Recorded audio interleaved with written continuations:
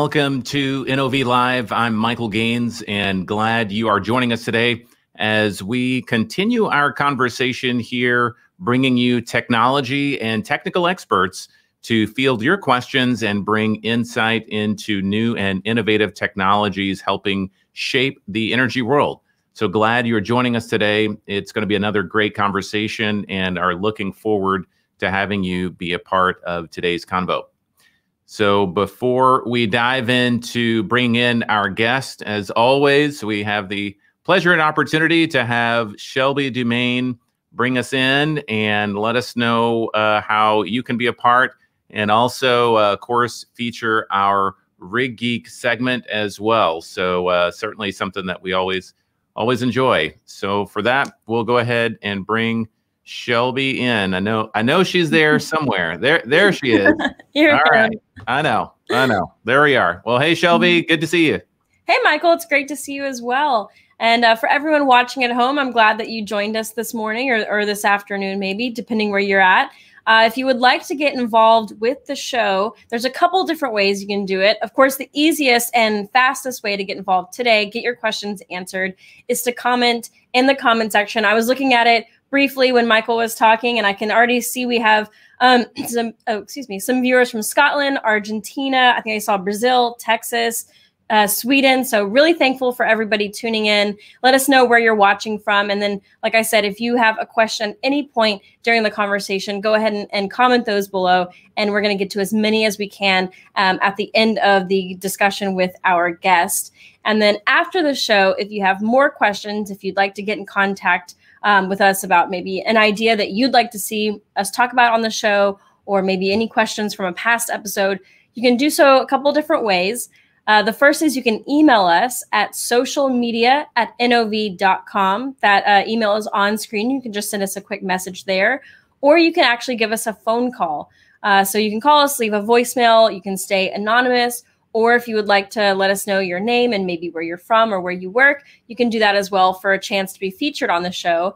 And that number is country code plus one three four six two two three 4799. So I look forward to hearing from everybody, um, like either, like I said, either in the comments and our email or our phone call.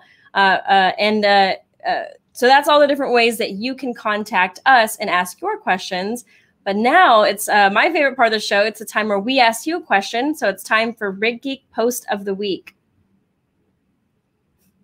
All right, so we're going to go and uh, do that question. So, some of you, if you follow NOV, you might have noticed we posted an article um, a couple weeks ago, and it was about how Dominion is building a Jones Act compi- compliant wind uh, turbine installation vessel. Uh, and we're asking you, all of our rig geeks in the comments, after which Greek mythological sea monster was this vessel named? So if you're if you're if you've brushed up on your Greek mythology recently, you might know. Uh, but go ahead and put your guesses in the comments, and then at the end of the show, we will reveal the answer. So stay tuned to see if you know which uh, Greek mythological sea monster the uh, Dominion uh, wind uh, wind turbine installation vessel is named after. A lot of tongue twisters there. All right, cool. Well, thanks, Shelby. Really appreciate it and uh, we will certainly circle back with you mm-hmm. uh, at the end of the show. So, for today's conversation, we're actually going to go ahead and jump in and talk about a topic uh, that uh, we've actually done a podcast on, the NOV Today podcast uh, in the past, and have had ser- several conversations. But we're talking about uh, wind turbine installation vessels, and for the the passerby, you might mistake it for uh, potentially a, a, a jack-up drilling rig. But as we'll find out today, um, actually there are many things that are different that set uh, the two apart. And we have the opportunity to talk with an expert today who will not only be able to answer your questions, but also shed some light into this really evolving and innovative space. So uh, we're going to go ahead and bring in our guest today, Alberto Morandi. He is the Houston General Manager for Gusto MSC here at NOV. So, Alberto, uh, great to see you. Thanks for joining us. Right. Good morning, good afternoon, good evening, wherever our listeners might be. And very pleased to be here to talk about wind turbine installation vessels and looking forward to a good discussion. Great, absolutely. All right. Well, um, I know that you uh, you have a, a, rich background in history uh, in this space, uh, Alberto, and and uh, so I, I, know that we can we have the opportunity to jump jump right into some really good ones. And so I'll I'll start out by uh, maybe talking about some recent uh, recent news and, and articles um, that uh, talked about uh, new contracts for new build offshore wind installation uh, jackup vessels. Uh, I, I, know that you. So I'm I'm a big LinkedIn guy. I know that you are as well. Um, right. so I've seen that you've been you know liking and posting and, and commenting on some things. So can you talk about uh, you know some of these vessels and maybe give a little background uh, for those that aren't as familiar into the market itself? Yeah, I mean, we are very excited with the activity. You've seen the announcements from the Shimizu vessel last year, also announcements of OHT and, and, and Scorpio, and now more recently, the first Jones Act compliant wind turbine installation vessel to service the US market, you know, the Dominion vessel. And I'm not going to say the name because that's the rig, rig, question. And well, these are really jackup vessels. So they transit from location to location. Once they reach the location, they can jack down their legs and penetrate firmly into the, to the seafloor. And that gives those this type of rig the mobility to move between different uh, sites and install turbines, but also this penetration to the seafloor floor gives you a firm foundation, which then makes the platform very stable, which is very important, particularly when you're installing the rotors and the blades and all the different components of the wind, wind turbine. So that's what's really have made the jackup. And the jackup is a great concept used in drilling, now using in, in offshore wind too, just because of the flexibility and stability it provides. And, and offshore wind in general is very exciting because of all the different energy transition concepts. Uh, wind is, is, is one of the front, front runners, and, and offshore wind is very important in, in that context. Is a market that's happening right now in Europe, here in the United States, in Asia, right? And it's estimated that it could meet the global electricity needs 18 times over. So you can see the mm. size of it, you know, and we might be looking at a trillion dollars of investment in offshore wind by 2040. So globally is a very large market. And, and, and offshore wind and wind in general it becomes competitive by the day. You know, the, the, the, the cost keeps reducing technological improvement and particularly the use of larger and more efficient turbines. So that that is one of those energy transition applications that is not it's not the future. It's re, it's here. It's happening, and you only grow faster, right? Mm. Now in the U.S., we have something like 29 gigawatts already committed by the different states to be installed by 2035. And it could be easily be 40 gigawatts by 2040. So that's a lot of turbines to be installed in the coming decades, right? Mm. And you know, the, the, this discussion on the Dominion vessel, I mean, it comes in the context of the Virginia Clean Economy Act, which is looking to install 5.2 gigawatts of offshore wind by 2035. And Dominion Energy itself has a goal to be net zero carbon in all 16 states it's operating right now by 2050. So they also planning to build five gigawatts of U.S. offshore wind. Hmm. So really exciting times. Right, right. And so you know, I know that the uh, the culmination of these type types of projects is is certainly if you, you can kind of backtrack it to you know particular events and and uh, and, and items. So I'm always curious, and, and again, I really want to lean on your expertise uh, in this industry. Why why is now the time that it seems like these types of projects are are coming online and and really uh, kind of you know making making headlines? Yeah, I mean we see a number of projects that will require installation vessels. Let's say by 2024, 2025, right? So there is an ex there, there's a projected shortage in the market for vessels during that time period that can lift those larger turbines that, are coming to the market. So 2024, yeah, is a couple of years away, but if you need to have those vessels ready to operate by then, you need to start making decisions and you start construction or, or, or upgrades now, right? And, and, and another factor is by 2024, we might be seeing a recovery of oil and gas well underway, which also going to require installation vessels, not exactly the same installation vessels, but also will have an impact. And now, so you see those projects taking off, both in terms of new builds and also upgrading of existing wind turbine installation vessels. And, and I'm really pleased that Gusto MSC and NOV in general are succeeding in, in landing both new builds and upgrade contracts. I think mm. I should mention to the the Cadeler is another recent contract that that is a crane upgrade, which also we're very excited about. Right, right, yeah, absolutely. And, you know, and and beyond just in beyond the design and, and cranes, we also, you know, we all we are there with the owners once the vessels are delivered. We are there to provide site assessments. We are there to provide uh, digital services like our operator support system. You know, we're really there to help the owners get the best of the vessel they are they're operating. Hmm.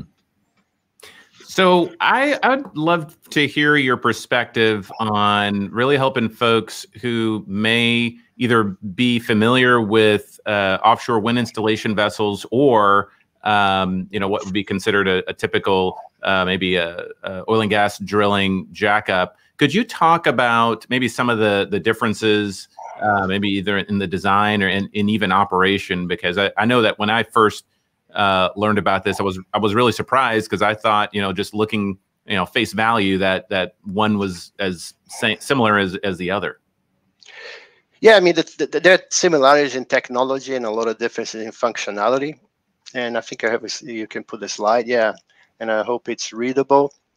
But you know, I think there are two things that jump on those, right? And here I'm comparing, you know, a, a Gusto MSC CJ70. CJ stands for cantilever jackup. 70 mean is this leg spacing.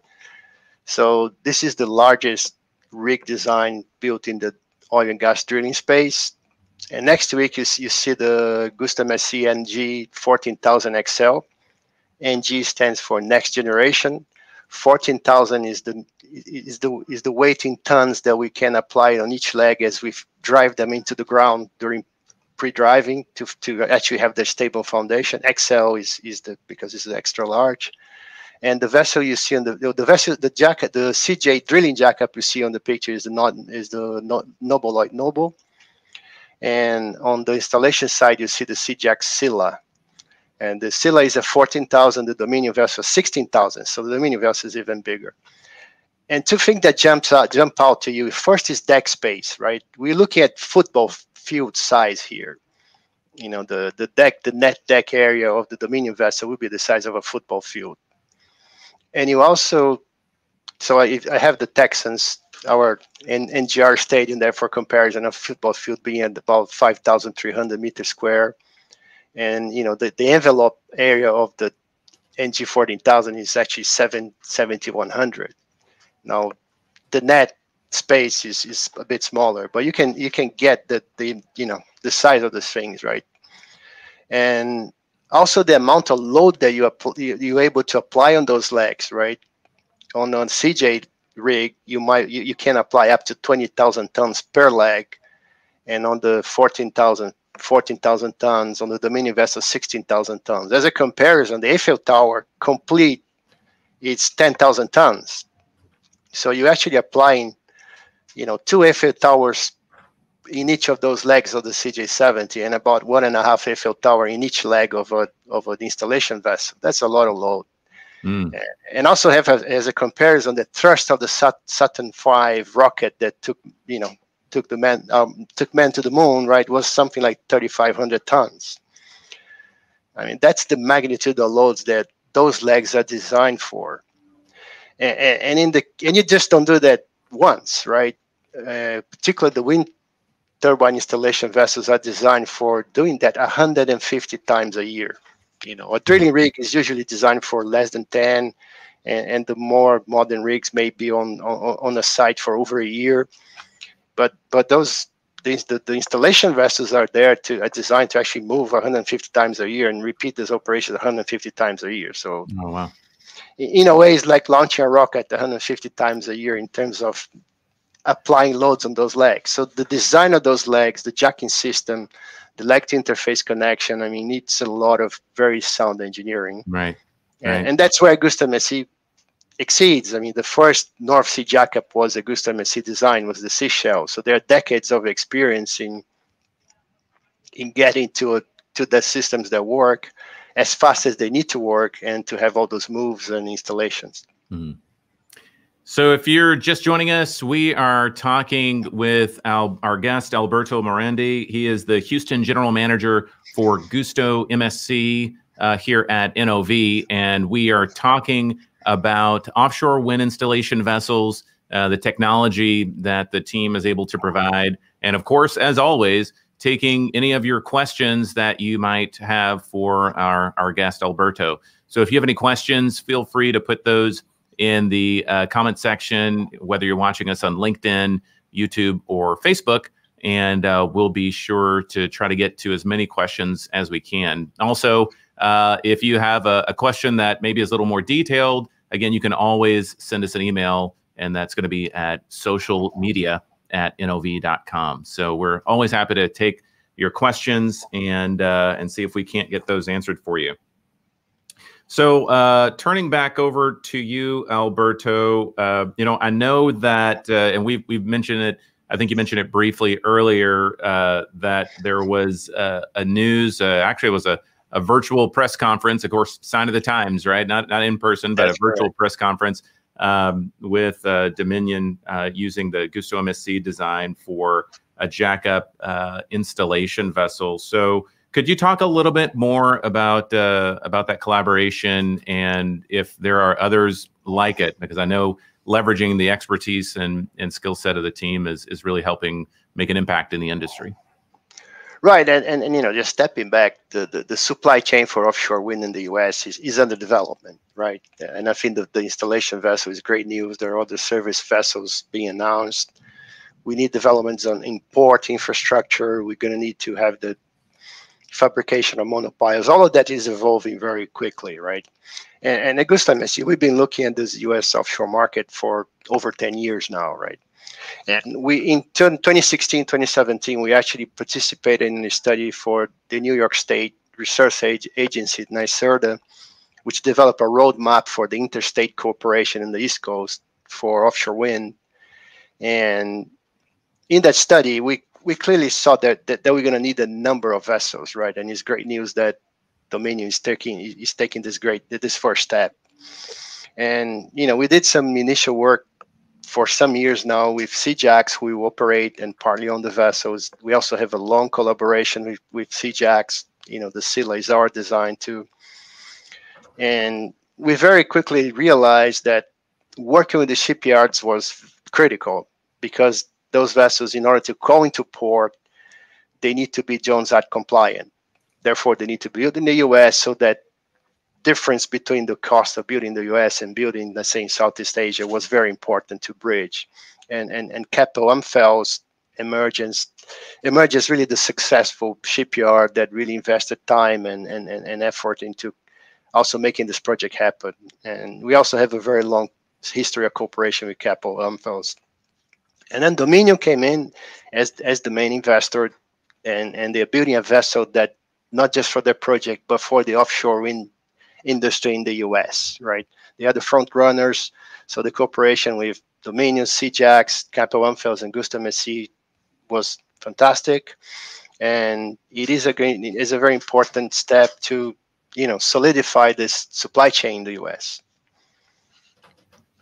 That's really good. Yeah, and, and and I'd like to maybe dive in a little bit. Uh, again, I recognize that um, you know there there are many markets that continue to drive forward with uh, offshore wind installation farms and and so forth. I know uh, specifically here in the U.S., it's it's more of a an emerging space. Um, so I, I, maybe just kind of wanted to get uh, maybe just a little more perspective uh, here and kind of zoom in. So for the the U.S. market, uh, can you talk about kind of what the the next major steps are that uh, that it looks like the the industry is taking in that in that regard? Yeah, I mean, we, I, I still believe we're going to see more vessels to, for wind farm installation. You, know, the, the, the Dominion vessel is, is what we call a full solution, is a wind turbine installation vessel. We can go into port, you can transport the components, you can lift wind, wind turbine components and foundations and, and, and do the entire cycle, right? Which then eliminates a lot of the offshore handshakes and, and, and really optimizes downtime. There's also a, a, a concept called feedering, where you actually have a Jones Act vessel that is only going to port and feeding the components to a perhaps a, a foreign flag vessel that only does the installation, and that will be allowed by the Jones Act. So the feedering concept is one where we are also working very hard, and we have basically a jackup concept, but we also have a, a, an interesting concept that's a floating vessel, which is a we call the steady top feeder vessel. It's a floating vessel with a motion compensation at the deck level, and we believe that also can be a very effective feedering solution and you know i think that's kind of the next step is is what, what's going to be the next build. I think there will be a next build in, in the in the us maybe another WTIV maybe a feedering solution. So i think that's mm. where i see. Okay great. So uh so so for those uh solutions and and specifically some of the the concepts that we've been been talking about i know uh, you know, folks are always wanting to know, like, okay, you know, what's what's commercialized now and and what's available, um, you know, as they kind of think through some some opportunities and uh, and and expanding the the market. So, could you kind of talk about that? You know, what what is uh, is available uh, that we've discussed so far? Yeah, I mean, you know, our both WTIV and feeder solutions are there, available, ready. You you know, I the Dominion cut steel last uh, Keppel AmFELS cut steel on the Dominion vessel last year. The Shimizu vessel is also under construction, and that one actually has a, a, a telescopic crane that developed by Gusto MSC and OV. And I think we have a lot of excitement around the telescopic crane. So, you know, these are really market-ready solutions. You know, I think I, I always say there's a lot of what I call LinkedIn engineering. People create some really nice graphics, but maybe with not enough engineering background. And, and, and our policy in MSC is purpose, purposeful innovation is to innovate something that will help our clients with their problems. And you know that fits into very well to the NOV culture, right? We that we like to we like to go to the market with products that have a lot of solid engineering behind. They're ready to deliver what we, we commit to our clients. Mm. So yeah. I think, you know, our vessel designs, our jacking systems, and our cranes are products that are there for the market. And, you know, we look forward to help. Great. Well, uh, we we appreciate that and know, yeah, I've uh, had the opportunity to talk, of course, with you and many of uh, the colleagues in in Schiedam in uh, in uh, the Netherlands, and know that yeah, there's a whole whole team that is constantly uh, working to deliver on that. So we appreciate it. Uh, of course, one thing we want to deliver on is answering the questions that were put into uh, the comment section while we were having our conversation. So if you have been holding on to a question, it's not too late. You can go ahead and put that in uh, the comment section now. Mm-hmm. But uh, Shelby, we'll go ahead and get you uh, going and see if we can't get some of those questions answered uh, by Alberto. Absolutely. Yeah, we got some great ones already, but certainly, like you said, Michael, um, if you're watching and you have more, you still have a chance. Go ahead and type them in, and we're going to get to as many as we can. Uh, so, this first question, Alberto, came from Larry on LinkedIn, and he was wanting to know um, what opportunities are, or is are there more opportunities for offshore um, oil uh, workers to join in on this? You know, the the up and coming wind and uh, you know wind turbine installation vessels, that kind of work. Is there opportunity for a crossover from oil and gas to, to wind? Yeah, I think so. I'm, I'm very passionate about the subject. I, I wrote an article mm-hmm. for this name. I'm a member of SNAME Society of Naval Architects and Marine Engineers. I think the naval architects are very active in that because there's a lot of commonality, and and I think, you know, I, I, I like I like to say that the main technologies when you look at jackups and we look at spars and you look at semi-subs, so many of those were created by oil and gas, right? Mm-hmm. And, and I'm really excited to see how much this talent for oil and gas migrating to offshore wind, how much we're going to be able to contribute. Because well, I'm one of them, of course. You know how much this talent is going to be able to contribute to develop commercial solutions for offshore wind and, and renewable energy in general. You know, I think there's I at least at least hope that there's a space for everybody in this energy transition. And you know, I you know, a subject for another day, things like carbon capture might be a great opportunity for all those who have made a career of getting hydrocarbons off the ground to put them back, you know. So I think I encourage everyone to look for opportunities and, you know, because I think there will be a transition and, and oil and gas talent will be a part of it.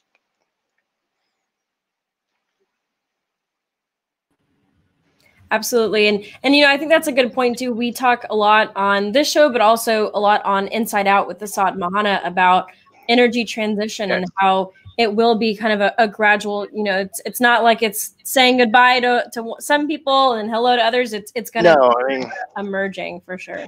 I think that there's this special kind of talent, which is that make things happen talent, right? And, and the oil and gas business off and offshore business, which are no more attracted a lot of this type of individual who, you know, dream up ideas and make them happen. And I think that this type of individuals are needed in the renewable energy space. Mm-hmm. Absolutely. I, I, couldn't agree more. Uh, so we have another question. This one also comes from LinkedIn. Uh, what would the average crew size be to run a single installation with one of these vessels? So um, they they mentioned this could be personnel and support ships, but approximately yeah. the size of that crew. Yeah, the, there's a, they're designed for hundred, around 130, 150. Mm-hmm. Yeah. Gotcha. And then, so we got another. And, and, oh, and, and being Jones Act, they'll be crewed by U.S. seamen. Right.